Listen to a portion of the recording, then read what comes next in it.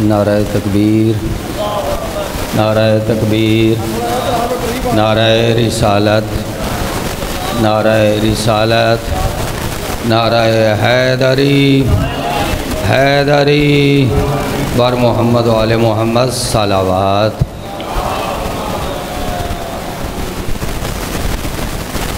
پیچھے ہمارا ملنگ بیٹھا ہوا ہے نا کہ چلا گیا۔ اٹھ کے بیٹھے ہوئے ہیں۔ یہ ماشاءاللہ بہت زبردست پڑھنے والا ملنگ ہے ہمارا۔ اللہ اس کو لمبی عمر عطا فرمائے اور اور زبان میں تاثیر عطا فرمائے۔ سلوات پڑھ دے محمد و آل محمد پہ۔ اعوذ باللہ من الشیطان الرجیم، بسم اللہ الرحمن الرحیم۔ الحمد للہ والصلاة علی آلہا۔ اما بعد، بسم اللہ الرحمن الرحیم، قال رسول الاعظم صلی اللہ علیہ وآلہ وسلم زینو مجالسکم بذکر علی ابن ابی طالب فَإِنَّا ذِكْرَهُ ذِكْرِ وَذِكْرِ ذِكْرُ اللَّهِ وَذِكْرُ اللَّهِ عبادتن ایک مرتبہ اتنی بلند صلوات پڑھیں جتنے آل محمد بلند ہیں۔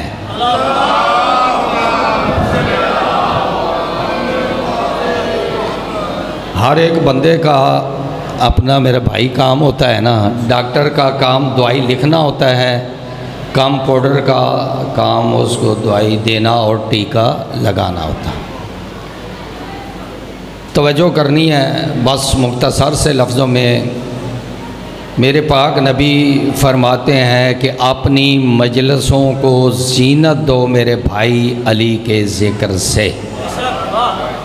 تھوڑا سا بولیں گے تو لطف آئے گا۔ اپنی، میرے بعد سارے ذاکر ہیں، انشاءاللہ کسی سنائیں گے۔ ایک میں ہی مولوی ہوں بس۔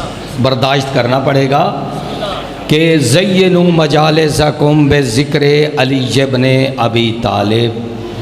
اپنی مجلسوں کو، اپنی محفلوں کو زینت دو میرے بھائی علی کے ذکر سے۔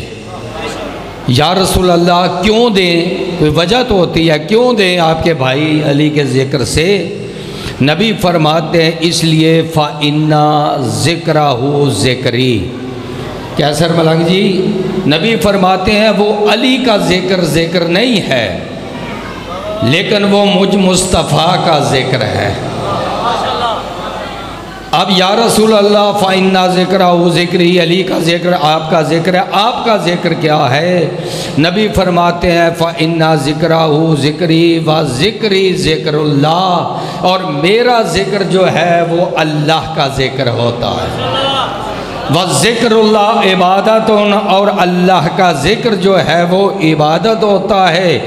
تو دنیا والوں ابھی بھی توجہ کرنا، آپ کو پتہ نہیں چلتا ہم ذکر علی کا کرتے ہیں، عبادت اللہ کی ہو جاتی ہے۔ ذکر علی کا کرتے ہیں، عبادت اللہ کی ہو جاتی ہے۔ تو رب اکبر کی قسم، یہ جو مقام ہے، بڑا پاک و پیکیزہ مقام ہے۔ جہاں پہ آپ بیٹھے ہیں، یہ جاؤ کسی علماء سے پوچھ لینا۔ اب لاکھوں من اوت پہاڑ جتنا سونا، میرے محترم رائے خدا میں قربان کر دیں، دے دیں غریبوں کو۔ آپ جتنے مرضی یہ عرب ڈالر لوگوں میں تقسیم کر دو، جتنا خرچ کر دو، لاکھوں حج کر کے آ جاؤ، عمرے کر کے آ جاؤ، زیارتیں کر کے آ جاؤ۔ دعوے سے کہہ رہا ہوں، توجہ ہے۔ آل محمد آپ کے گھر نہیں آتے۔ آل محمد، آپ کے گھر نہیں آتے، یہ دعوے سے کہہ رہا ہوں۔ لیکن یہ مجلس ایسا مقام ہے، مجلس ایسا ذکر حسین ایک مقام ہے کہ جہاں پہ ایک پڑھنے والا بلا لو، ایک سننے والا آگے بیٹھ جائے، تو پھر بارہ نہیں، چودہ تشریف لے آتے ہیں۔ یہ اتنا پاک و پاکیزہ محفل ذکر حسین علیہ السلام ہوتی ہے۔ تو میرے محترم، یہ کتنا پاک ذکر ہے حسین علیہ السلام کا۔ جہاں پہ چودہ معصوم آتے ہیں، سید فاطمہ آتی ہے، سید زینب و کلثوم تشریف لاتی ہیں۔ اور یہ مقام ہے اس مجلس ازا کا میرے محترم۔ یہ ذہن میں رہے کہ جتنا مجمع کم ہوتا ہے، سمجھ آ رہی ہے میری بات؟ جتنا مجمع کم ہوتا ہے، اتنے ملائکہ زیادہ تشریف لاتے ہیں۔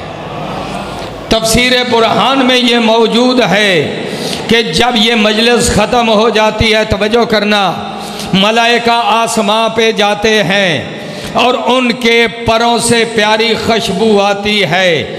اب وہ ملائکہ آسمان والے دیکھ کے کہتے ہیں کہ اتنی پیاری خوشبو آپ کے پروں سے کیوں آتی ہے؟ وہ دیکھ کے کہتے ہیں، زمین پہ کاظمی صاحبان نے مجلس ازا کا اہتمام کیا تھا۔ ہم مجلس سے ہو کے آ رہے ہیں، اس کی وجہ سے ہمارے پروں سے یہ خوشبو آ رہی ہے۔ توجہ کرنا۔ آسمان والے ملائکہ کہتے ہیں، ہم بھی جائیں گے۔ یہ دیکھو میرے مسلمان بھائیوں اس جگہ کا مقام کیا ہے؟ جس جگہ پہ مجلس ہوتی ہے، جب کہتے ہیں مجلس ختم ہو گئی، وہ آسمان والے ملائکہ کہتے ہیں، کیا ہوا کہ مجلس ختم ہو گئی، مومن چلے گئے؟ لیکن وہ جگہ تو ابھی باقی ہے نا، کہ جگہ پہ ذکر حسین ہوا تھا۔ ہم وہاں جا کر اپنے پروں کو مس کریں گے اور ہمارے پروں سے بھی وہ خوشبو آنا شروع ہو جائے گی۔ یعنی یہ مقام ہے حسین علیہ السلام کا۔ کربلا کے بعد زوری نامی بندہ آ کے کہتا ہے، مولا میرے بیٹے کی شادی ہے۔ میرے مولا سجاد علیہ السلام، دیکھ کے کہتے ہیں میں نے شادیوں میں جانا چھوڑ دیا۔ کہتا ہے مولا، شادی کا تو ایک بہانہ ہے، لیکن آپ کے قدم چاہتا ہوں میرے گھر پہ آئیں۔ جب یہ جملے کہے، میرے مولا دیکھ کے کہتے ہیں، میرے بابا کی مجلس رکھ لے۔ اگر مجھے بلانا ہے، اب جو میں نے پہلے بات کی کہ چودہ تشریف لاتے ہیں اب انتظار کرتا رہا، کہتا ہے، سچے باپ کا سچا بیٹا ہے۔ وعدہ کیا ہے، آیا کیوں نہیں؟ اب کبھی مجمع کی طرف دیکھتا ہے، کبھی ممبر کی طرح۔ اب بے چین ہو کے جب باہر گیا، تو رب اکبر کی قسم۔ کیا دیکھتا ہے مولا سجاد؟ وہاں پہ کھڑے ہوئے ہیں، جہاں پہ مومن جوتے اتارتے ہیں۔ دیکھ کے کہتا ہے، مولا، میں نے وہاں پہ تکیہ لگایا ہوا ہے آپ کے لیے۔ جب دیکھ کے کہا نا، تکیہ لگایا ہوا ہے۔ دیکھ کے میرے مولا جواب میں کہتے ہیں، جو بانی مجلس ہوتا ہے نا، وہ آنے والے مومنین کا استقبال بھی کرتا ہے، ان کے سلام کا جواب بھی دیتا ہے۔ ایک روایت یہ ہے، دوسری روایت یہ میرے مولا فرماتے ہیں کہ مجلس میں بیٹھا تھا، میرے آباؤ اجداد، میرے بزرگان آ گئے تھے، میں نے ان کے لیے جگہ کو وہ خالی کر دیا تھا۔ میرے محترم دنیا والوں نے آل محمد کو پہچانا نہیں۔ غیر و ازادارو جب میرے حسین کا بھرا گھر لڑ چکا نا، عباس و اکبر و قاسم و اون و محمد مارے گئے نا۔ ازادار و داڑھی میں علی اکبر کا خون ہے۔ ازادار و ہاتھوں میں علی اصغر کا خون ہے۔ ازادار و خون میں لت پت میرے حسین خیمے میں آئے۔ آ کے کہتے ہیں، بہن زینب، میری دستار کا وارث میرا سجاد کہاں ہے؟ ازادارو جس نے ماتم کرنا ہے، دیکھ کے کہتے ہیں وہ خیمے میں ہے۔ ازادارو بیٹے کے سرحانے پہ گئے۔ جا کے رونا شروع کیا۔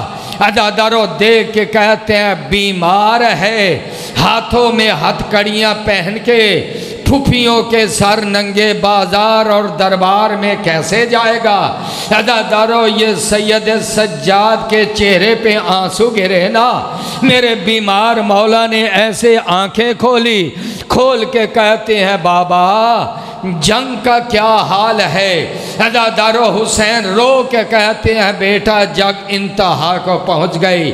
ازادارو جب کہا نا جنگ انتہا کو پہنچ گئی رونے والوں ازادارو دیکھ کے کہتے ہیں، بابا، اینا اینا زہر ابن قین او بابا زہر کہاں چلے گئے؟ میرے مولا دیکھ کے کہتے ہیں، بیٹا، قد کو تیلا وہ کام آ گئے۔ ازادارو پھر مشکل سوال کیا۔ رو کے کہتے ہیں بابا، اینا اینا، مسلم ابن او سے جا او بابا، مسلم کہاں چلے گئے؟ حضرت حسین رو کے کہتے ہیں وہ بھی کام آ گئے۔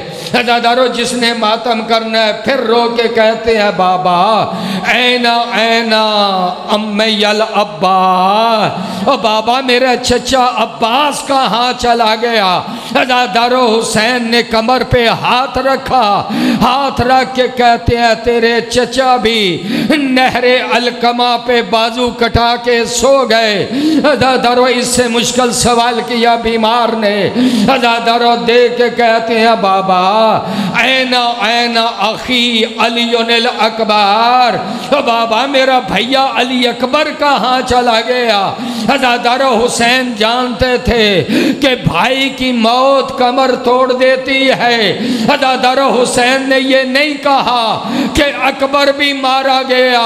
ازادارو رو کے کہتے ہو بیٹا، تو کب تک پوچھتا جائے گا؟ میں کب تک بتاتا جاؤں گا؟ خیمے میں ایک تو رہ گیا ہے، باقی میں بچا۔ ازادارو رو کے کہتے ہیں، پھپھی اماں مجھے تلوار بھی دو آسا بھی دو۔ او غیورو رونے والو اجرو کو مل اللہ۔ ازادارو دے کے کہتے کیا کرو گے؟ ازادارو دو کے کہتے ہیں، پھپھی، میرے بابا تنہا رہ گئے ہیں۔ اسا کے ذریعے چلوں گا، تلوار سے جہاد کروں گا۔ ازادارو یہ جملے حسین نے سنے ہیں نا؟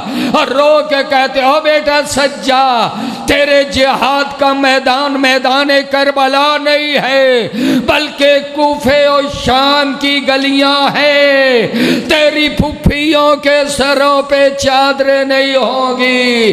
او بیٹا تو نے ساتھ جانا ہے۔ اللہ لعنت اللہ۔